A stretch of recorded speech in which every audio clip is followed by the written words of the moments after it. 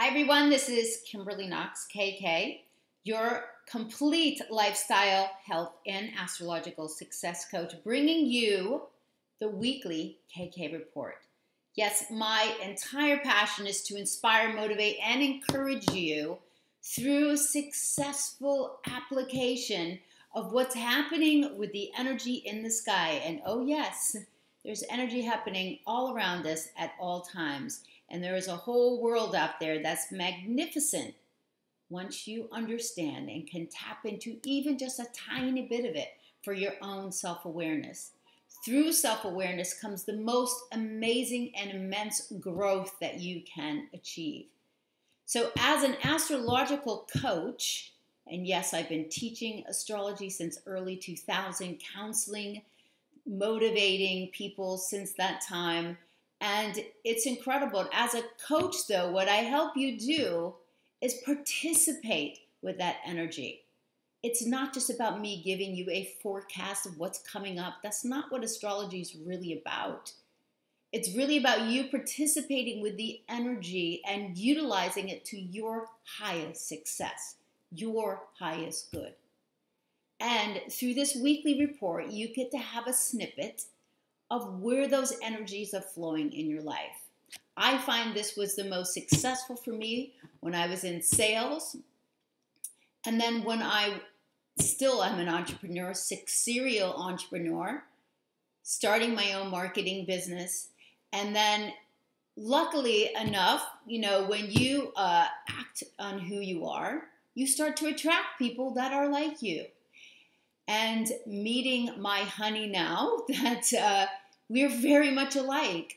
And it's incredible that we can share this whole motivation, inspiration type uh, gift that we have.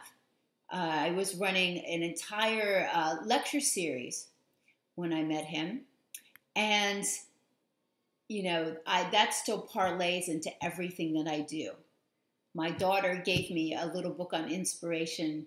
Gosh, I think she was like seven or so. And I've been collecting quotes for a long time. So, the best thing that you can do, honestly, is to improve yourself, your growth. Your improvement is the is the highest revenge on anyone, honestly your mindset, keep it in check. And don't listen to all the naysayers. Yeah, I have a lot of people saying little things. You're going to have people saying things about you. Just let it go. It reflects more on them than on you. So, this is the time of Aries. This is the vernal equinox, and this is the spring solstice. Yes, this is when the sun moves into zero degrees of Aries and we start planting seeds for the entire year that are going to unfold. This is an incredible time. And in Western astrology, this starts the astrological year. And this week is like no other. And today, with the moon moving into the sign of Capricorn, action, action, action. It took me a little while to get to this report because I've had my nose to the grindstone all day long. So let's move on. Get your day planners out because this is incredible timing information. You can make notes for the week. Being in sync with the energy is one of the most natural ways to utilize astrological information. In Babylonian times, they utilized the lunations, the new moon, the full moon, the eclipses, for planting, for other things, for success.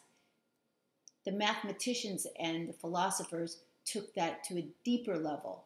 I'm just so grateful that I was giving the mindset, the deep penetrating mind, to be able to understand this incredible science and pass it along to you to inspire, motivate, and encourage people all over the world that reach out. And that's incredible health wise, the springtime starts big stuff for your body. So if you have been doing a good job this winter, resting, rejuvenating your body, then you can move forward with that energy and strength. But it is a time for cleansing the body. for cleaning out the house, cleaning the same thing. You, this is a way to go forward and releasing toxins is a huge thing in the spring. So if you are gunked up, you're going to know, I mean, you might even get sick around the changing of energy. But I am going to be doing a health video all on cleansing and preparing for cleansing. And juicing is one of the best periodic ways to effectively detox your body. It's not for every day, and there's the best ways to do it, and there's also things you need to watch out for, and I'm going to go over that. So, all of these things equate to the time of Aries starting new, fresh starts. Aries is about being bold and courageous, and I love my Arians.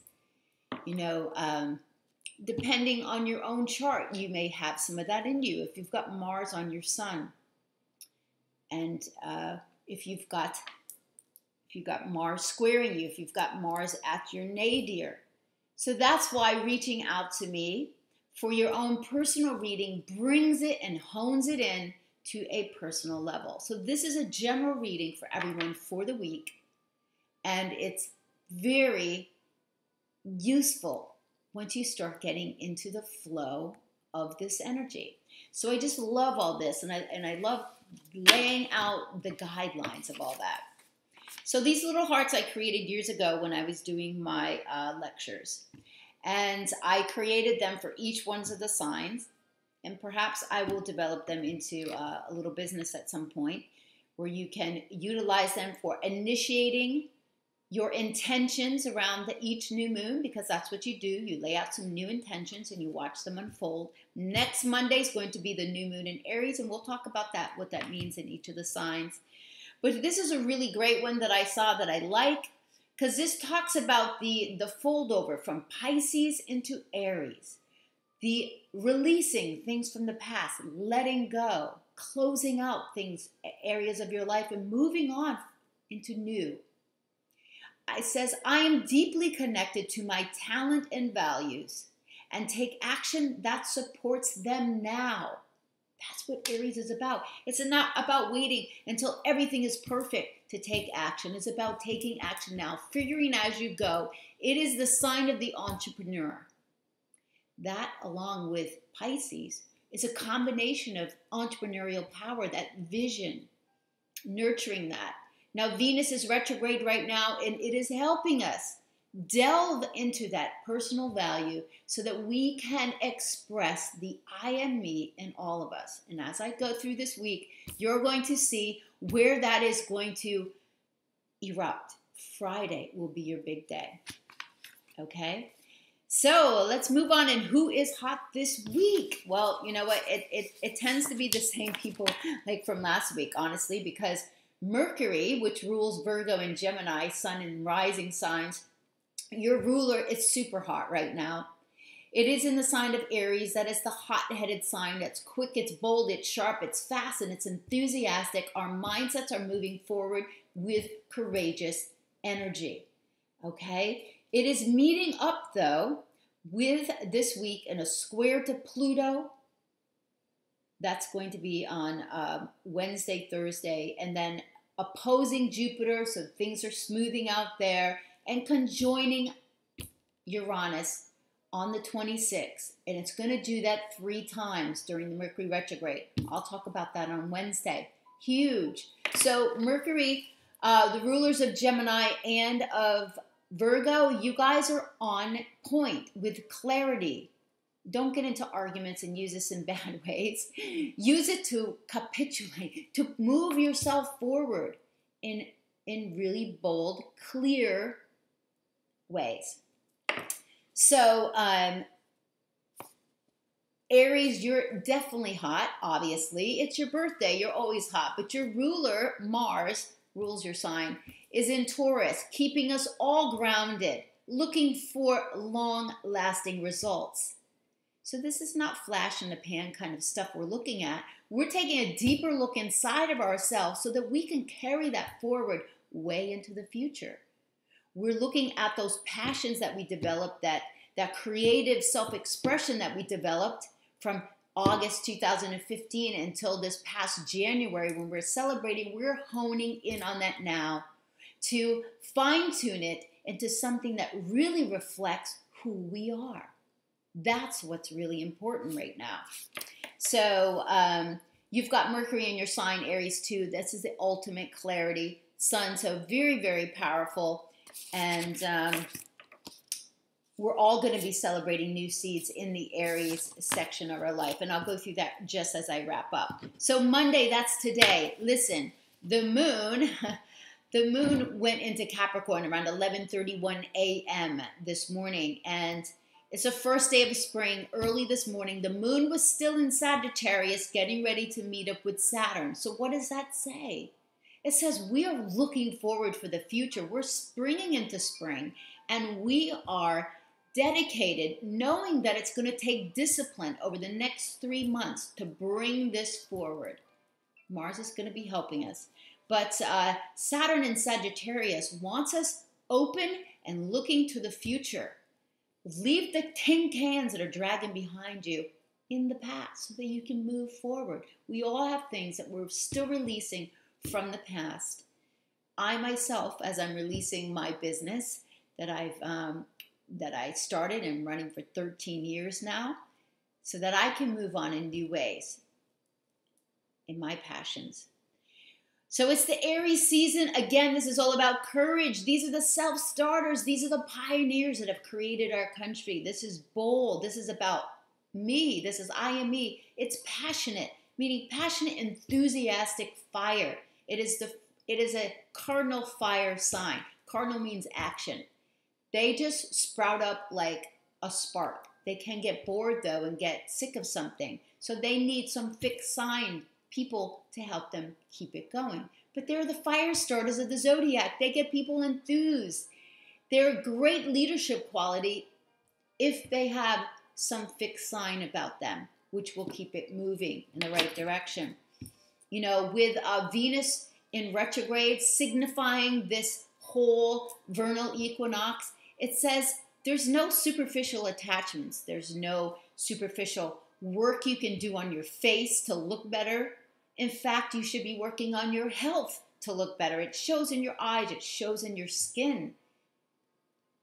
Any type of sugar already creates excited cellular uh, reproduction, which causes aging. So, I mean, there's so many little things that you can do to look better and feel better. And it's quite simple. And I have so much passion in helping people get healthier.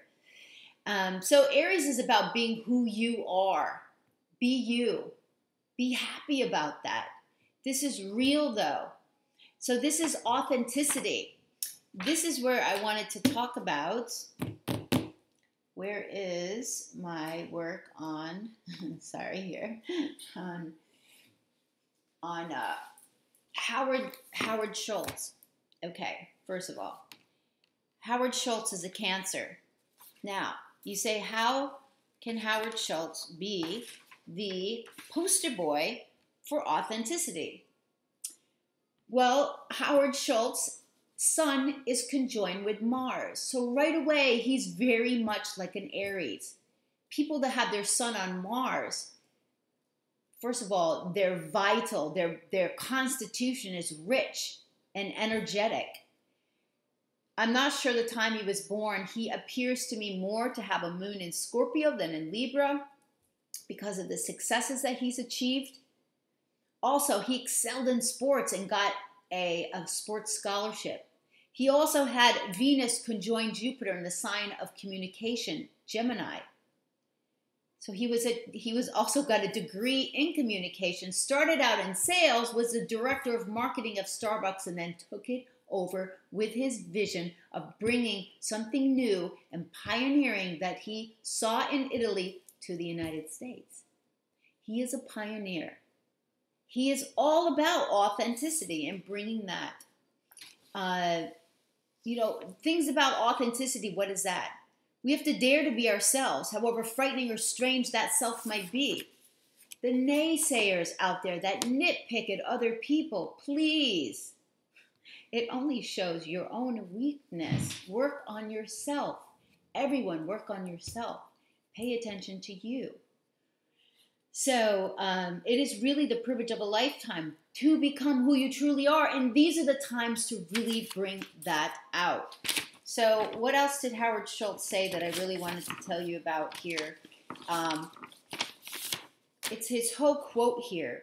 It says, In this ever changing society, the most powerful and enduring brands are built from the heart. Big for a cancer who connects with the with the public.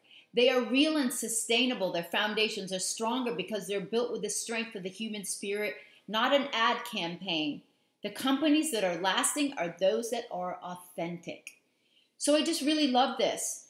And uh, this is about you becoming authentic. This is about you bringing out who you are. It will sustain, your passion will sustain. You will be able to carry this forward for the rest of your life. And the universe will reach up to support you as you go forward. And all you have to do is believe in what you're doing and start making steps forward. That is the biggest secret here. So, for the next few days, the moon is in Capricorn. It wants you to be, and, and it's a last quarter moon. Last quarter moon has the energy through a 90 degree angle of Capricorn. It is a culminating square. It says, This is your last chance to, uh, to take it all together and make any revisions that you need to accomplish, to achieve, to take action, to have discipline, and be responsible. You will get a lot done the next two days. There's a void period coming up on Wednesday, so you can take a break. And then the end of the week looks incredible. You're preparing for success right now. I really, really just uh, love, uh, I love this energy that we're under. Tuesday, let's move on. Tuesday is a Mars day. My daughter was born on a Tuesday. She has Mars very strong in her chart. If you were born on Tuesdays, you generally will see that. It's a very interesting thing. I was born on Saturday, a day of Saturn. Saturn is strong in my chart. Tuesday is a Mars day. Mars is in Taurus. So this Aries new moon is disposited by Mars, energy in Taurus. Excellent. It's about grounded success. So this is about taking care of what means the most to you. Tauruses will not throw away a high-end item no matter how old it is because they see value. They're the ones that buy good quality because they know it will last. I know this because my, my chart ruler is in Taurus. So I have very Taurian traits, among other things. So you can find all these nuances about yourself by getting a chart reading and looking at your own natal chart. It is brilliant. You're not just your sun sign. There's so many different facets of you. This is solid, lasting value type of energy. It's going to help us to build going on. It's going to help to keep us grounded as Mercury goes retrograde. It's going to help us keep us grounded as Mercury and uh, is meeting up with Uranus, as the Sun is in Aries, pushing us forward. We're going forward making decisions that are about solid, lasting value because Mars is the is the action. It is the how we take action taking action on our own behalf. Wherever your Mars is describes how you take action. And uh, so the moon is in a beautiful sextile right up to lunchtime on Tuesday. This is great. Working with vision is incredible. The evening can be spirited conversations and a, a, bit of real intensity and focus as the moon late at night gets ready to conjoin with Pluto. Here on the East Coast, it'll be 1:32 p.m on the on the uh, west coast it'll be in the evening. And uh, so you're basically finishing out tomorrow. Get your stuff done. Be really grounded and focused and you will achieve a lot. Wednesday. So that's a big business day tomorrow. It's just cascading from today. Wednesday, we've got a long void period. After 9:20 a.m. with the moon squaring Uranus, which always brings a little bit of surprise and excitement the moon's going to be void all day until the evening, 10:28 p.m. here on the East Coast. So this means take care of what you started, organize, get stuff done. If you need to take uh, and go do a few things before Thursday and Friday, take part of the day to get that done. Clean up what's on your desk, clean up what's in the house, get prepared. Void just means that things aren't connecting. It's not the day to start new things. It's not the day to go have a new meeting. If you do have a meeting, it might get canceled. You might get lost. You might take a wrong turn. So uh, just go with the flow when the moon is void. It's really fun, okay? Uh, this is just about staying in the flow. The moon is moving into Aquarius, which is very about social friendships. These friendships will take you to the next level. It is a time of social gregariousness. It's fun. The Venus, okay, not Venus, sorry, but Mercury is getting ready to square Pluto. So this is exact on Thursday. And then on Friday, early in the morning, it's going to oppose uh, Jupiter. So that's bringing things back in the balance. But Mercury square Pluto. Mercury is everyday life, it's what's going on with our thoughts and our thinking, and uh, the traffic and, and uh, the weather and um, and communication and business deals.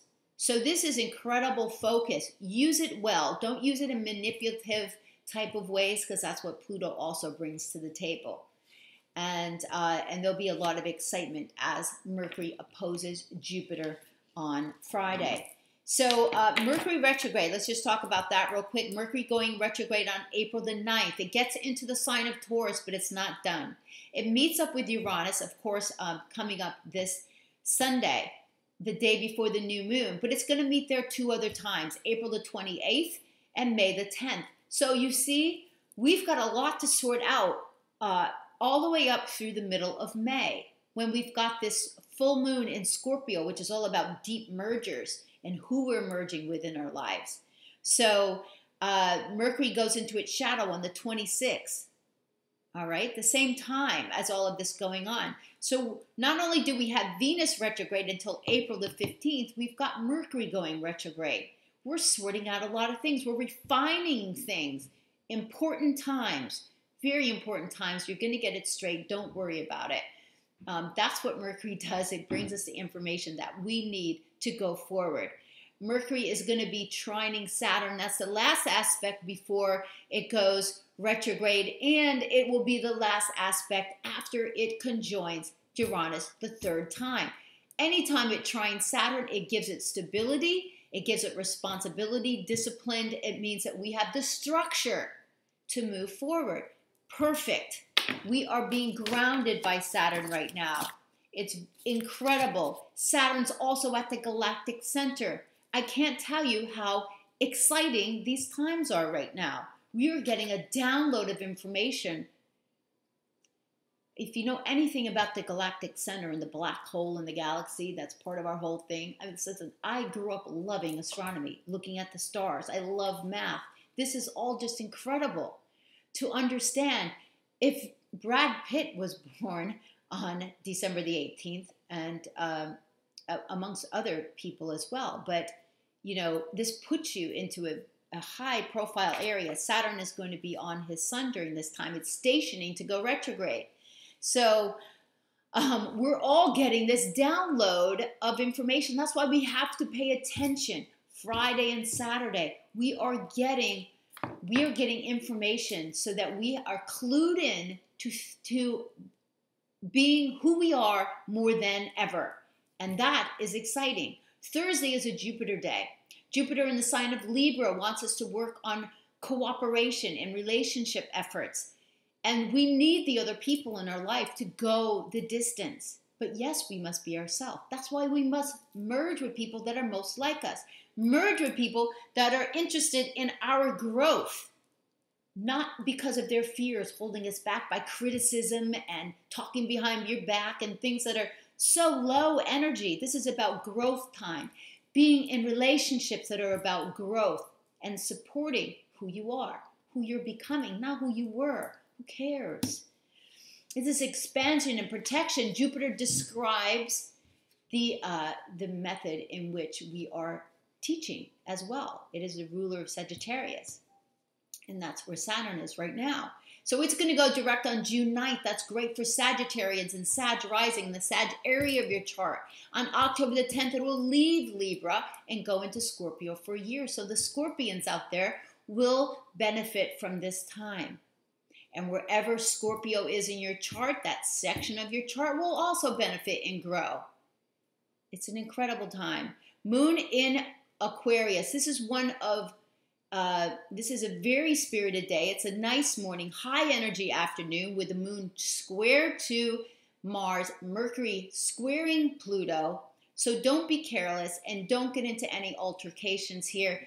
Use the energy to catapult you forward and to get you into discussions and talks that are focused on where you're going and building those new foundations. Your mindset is all about authenticity. Don't forget, Mercury's in Aries right now. Pluto's in Capricorn, the sign of tradition and our foundations that we've totally broke down over the last few years. Family traditions are not the same. Families are changed. There's new family traditions that are being built, but this is for the good. So this is about bold and being courageous and going forward like that. So um, building up your social connections through friends and groups.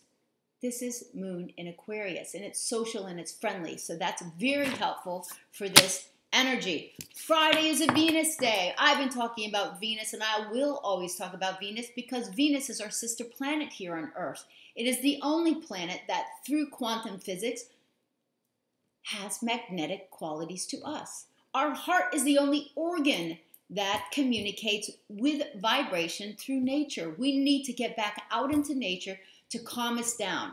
Through all of this electrical type of stuff that we have going on, it's so important to get back out to calm down. That's why heart palpitations and heart rate can get elevated through too much electronic equipment. It's not brain science. It's it's just it is. It just is. If you understand energy, it's brilliant. That's what it is. It's an excellent day for networking. This is the best day, Friday. Look to this day. It's a Venus day. Venus is meeting with the sun early in the morning on Saturday. This day is your day. Okay, I'm going to be in New York City. There's networkings going on. I'm going to be with my accountability partner that I've been in class with the entire year and that I'm in my advanced business course with. I will be getting information, and so will you, about something Friday and Saturday that will give you clues on where you are going. This is real. This is not about being superficial, Venus retrograde here. Be you. Improve your relationships, work on yourself. These are seeds that are planting right now, this Friday and Saturday, that will unfold and be celebrated August 2018. Venus is not visible right now. It went invisible to us by the naked eye astronomically on the 18th. It will not reappear till the 31st. On the 31st, you will get some revelation as well. This is a credible incubation time. Use it wisely. It's I, I just love what's going on now, and that's why I'm and so enthusiastic to get you psyched up about what is the possibilities in your life. And it's your mindset that brings you those. Saturn is a Saturn. Saturday is a Saturn day. Through December the 19th, Saturn will be in Sagittarius, and for two and a half years, it will be in Capricorn. You early Capricorns will be getting hit first. Anyone born 19, 20, 21, 22, through the end of the year, you're going to be pushed forward. Re- you're, you're in your sign. You're built to, you're going to be achieving so much over the next two and a half years. It's just going to be amazing. You will need to sleep more, though, and take care of your health. Saturn is heavy. And Saturn can bring restriction and illness to the body if you're not taking care of it because it says take responsibility for you. It's your vital, the sun is your vitality. Saturn is sitting at 28 degrees, the galactic center. Lots of energy is happening, and it's going to be sitting there March 18th all the way through April 24th. This is a very long time. If you're born December 18th, December 19th, this is big stuff for you big success being laid out for you. Okay, um, it's going to be uh, as it goes retrograde on uh, April the 5th, so it's slowing down now. Um, what is else is going on? The moon is going into the sign of Pisces, bringing extra peaceful compassion.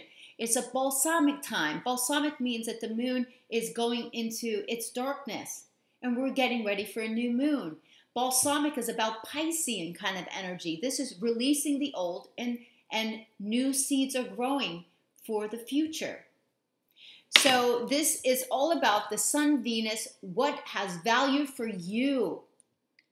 And you are going to see what you need to see, and things are going to be revealed for you. Sunday is the day of the sun. Sun is in Aries. It's vital now. So we've got the sun in Aries. We've got sun conjoining Venus. This is big news with Mercury conjoining Uranus. We feel alive and aware and awakened to what is important to us. Again, the moon is balsamic, it's endings and beginnings all at the same time. The new moon happens on Monday, and we have seeds for something new that we are sprouting. So Sunday is a peaceful time. It's it's about uh, compassion, and that energy will follow through. Utilize your vision to visualize yourself in something new. Okay, for each of the signs, new activities. These are new sprouts that are going to be sprouting for the entire year. Aries is a section of your chart where you find out who you are. Aries, of course, is your first house. That's you. You are the bold pioneer. You do make things happen just by being you. Taurus, it's your 12th house. You come into life with this bold talent to be the entrepreneur. It's behind the scenes and in reflection that you get the answers to who you are. You need to take time to yourself. Through quiet meditation, you could get a lot of download. Okay? Gemini, it's your 11th house. This is friendships and group interactions, is where you are getting connected with who you are. Now, just remember if you're Aries, Aries rising, it's your rising sign as well. These overlap. That's why. That's why chart readings will help you understand what area is being most activated for you. Cancer, it's your career, it's your public image, it's your 10th house. This is where you find out who you are. Leo, it's your ninth house. This is through travel, higher learning, being open to new philosophies. Virgo, Virgo rising, it's your eighth house. This is a house of deep mergers. This is a house of endings and new beginnings. This is where you take things to a deeper level. Merging with another person, putting your eggs into a basket, investing yourself into something, getting into a project, working on it. Libra, it's your seventh house. Your relationships and partnerships. That's where you find out who you are through social connections with other people. Scorpio, it's your sixth house. Scorpio and Scorpio rising, you need an active lifestyle. You need to work out. There's a vital force in your sixth house of health, and you need to keep it going. It's through your daily routine and your job that you find out who you are, what energy you put into that. Your routine is very important to your vitality. Sagittarius is through your fun and your creativeness and your your romance and your creative self-expression and through childlike activity, just having fun, that you find out who you are. And these are the areas where new sprouts are going to sprout for all of you. Capricorn and Capricorn rising, it's your home life. Yes, you were born with that vital, uh, pioneering, bold self because the bottom of your chart, the fourth house, is where you are that no one sees. It is the most vital part of you. I'm Sag rising, but I have a Aries at the bottom of my chart. I find out who I am through my home businesses. So that's why you need to get your own personal chart done because these are general forecasts, right? Because I've got 12 degrees Aries at the bottom of my chart. Aquarius, your third house, that's through self expression. That's through your siblings. That's through everything going on in your neighborhood. That's where you find out who you are. And these were new sprouts, uh, sprouts will be sprouting for you. Now, you could be a Capricorn rising and still have this section, um, your third house be Aries. So, um, Pisces, the last one, that's your second house. Second house is how you make money, how you go about utilizing your talents to make money. Pisces, you can have the most drive of everyone, but Pisces can somehow get uh, trapped in putting their head in the sand, being the martyr.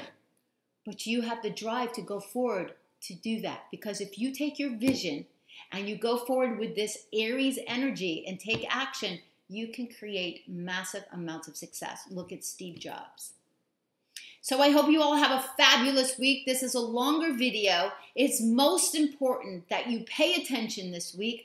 It is so exciting what's happening, and this is the pivotal time right now. We will be refining it all the way through April into May. Okay? So I hope you all have a fabulous week. Reach out to me, Kimberly, KK, at kkastrology.com for your personal coaching and chart consultations. Have a fabulous and successful week.